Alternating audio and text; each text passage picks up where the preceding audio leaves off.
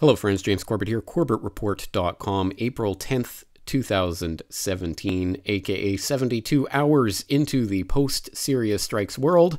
And yes, the dust is beginning to settle on the crazy events of last week. I hope you've been following all the latest information in the comment section of the Corbett Report's own open source investigation, as the Corbett Report community has been doing real yeoman's work in assembling and collating all this data streaming forth from the news feeds. But in case you haven't been following the developments this weekend, let's just go over what we know what we don't know yet, and what we can read in the tea leaves about what is yet to come. Firstly, I won't spend too much time on the chemical weapons incident that spurred all of this in the first place, other than to direct your attention to a very important interview that Scott Horton just conducted with ex CIA officer Philip Giraldi, where he insists that the intelligence community and military personnel know that the intel shows that this was not an Assad attack. Uh, this is further bolstered by an interview that ex CIA officer Ray McGovern gave to RT that Fox News subsequently tried to censor off the web. It's a bizarre little story I'll direct your attention to here at 21st Century Wire, but suffice it to say, McGovern says that this that his military sources indicate that the Syrian government's strike on Idlib hit a chemical we- weapons manufacturing plant, or a chemical manufacturing plant, I should say, and it was the toxic fallout from that that killed the, the, the citizens of uh, Khan Shaykhun. Um, but as to the strike itself, there have been people throwing around the idea that the U.S. tipped the Russians and or Syrians off to the strike before it happened, as if this was some kind of conspiracy or covert collusion.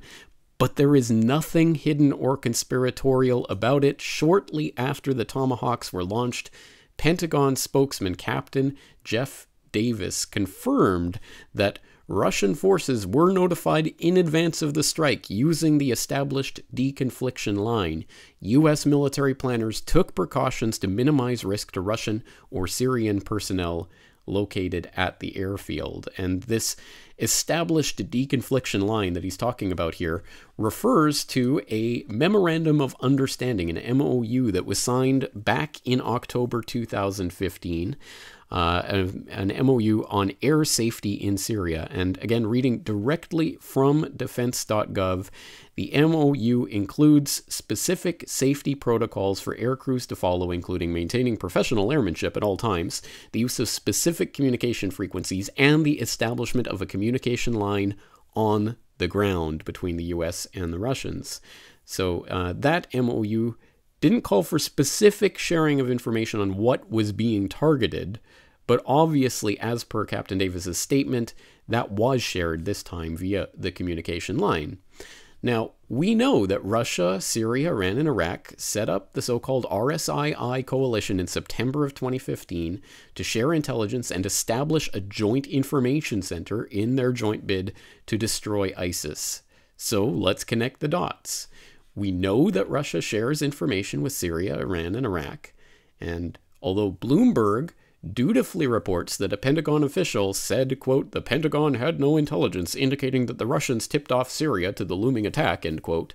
We don't need any SIGINT or James Bond spy shenanigans to put two and two together. They have a joint information center on the ground for crying out loud. The Russians absolutely let the Syrians know what was coming. Now, this becomes important when we look at what the strikes actually accomplished or failed to accomplish. Uh, the runways were not damaged in the attack, meaning the base was up and operational uh, within 24 hours. Uh, this is because we are now told the strike didn't target the runways at all. So there you go. And, well, mission accomplished because they didn't hit the runways at all, as we can now see from these uh, photographs that have been released. Um, now, Russia says that only 23 of the 59 missiles actually hit uh, the airbase at all, although Pentagon officials, uh, speaking under the uh, customary cloak of secrecy, uh, told ABC News that all but one missile hit the base. So uh, reality might lie somewhere in between or nowhere uh, around either of those estimates. I don't know, but those are the two official lines from the official governments. Uh, now, pro Russian sites have predictably latched onto the less than half mi- the missiles hit the base story, to suggest that the uh, super psychotronic 26th century mind control weapons from Hyperdimension X that the Russians have Jedi, Jedi mind tricked the puny USP shooters into committing hari-kari before they even reached the base, or something like that. Uh, meanwhile, pro Trumpers, who were thrown under the Trump train by the neocon in chief, but are still white knuckle grasping onto that caboose with all their might, say that this is because the entire strike is seventh dimensional backgammon to make America great again by scaring the North Koreans or Chinese or someone by completely failing to destroy an airbase or or something like that. But then again, these are the same people who think that Kim Jong un's missiles that have failed to hit anything are an existential threat to the US and probably justify a nuclear invasion of North Korea should their dear leader order one. So consistent thinking is evidently not the pro Trumpers' strong suit. But whatever the case, this much cannot be denied. This strike, taken as a single, isolated incident, has had little effect on the Syrian government's military capabilities. But of course, this is not a single isolated incident. Even if the Russians and the Syrians colluded to allow the strike to go ahead in order to relieve some of the pressure to do something about this chemical weapons false flag event, there have been several very real developments so far. Uh, the Russians have canceled their memorandum of understanding on flight safety with the US, meaning that the next time a strike is launched or an attack is planned, there will be no hotline for the US to use to tip off the Ruskies to stand down.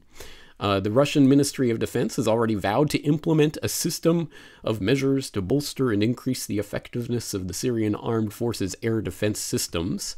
Uh, Russia has sent the Admiral Grigorovich, its most advanced Black Sea frigate, back into the eastern Mediterranean, aka the exact area where the USS Porter and USS Ross, the US destroyers that launched the Tomahawks, are still deployed and operating.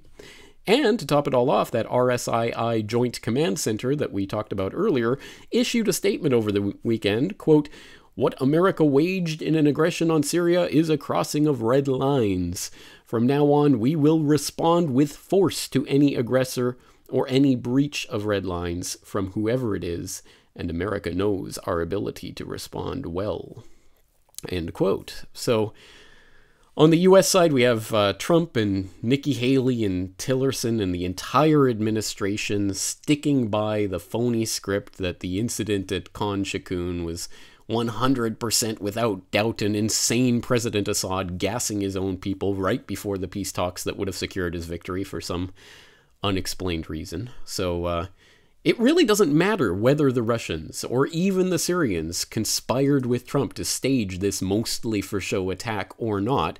Everyone is now painted into a corner, and one thing is for certain there is now virtually no chance that Assad will be allowed to stay in power in Syria. If the Syrian army is on the verge of vanquishing the very last ISIS terrorist from their soil, or even if the world is ready to sign on the bottom line of some completed peace negotiation to bring the terrorist insurgency in Syria to an end, the precedent has been established. All Al Qaeda has to do is stage another chemical weapons attack and blame it on Assad, and the dominoes will fall one by one. Neocon puppet Trump will, as we have seen, gladly sign off on whatever lies are passed before him, and next time it might just be a full on invasion of Syria. At that point, Russia has to put up or shut up. Uh, even either that, um, will lead to that full on military confrontation between NATO and Russia, or we will know that uh, Putin's red lines mean nothing and the whole rivalry is just for show.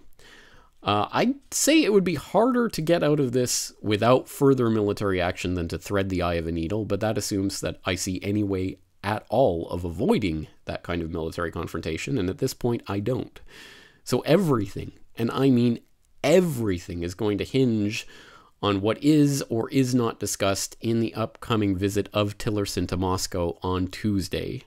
I will, of course, be keeping my eye on everything here, and once again, I invite the uh, the Corbett Report community to continue cataloging and analyzing this information in the comment section of this video at corbettreport.com.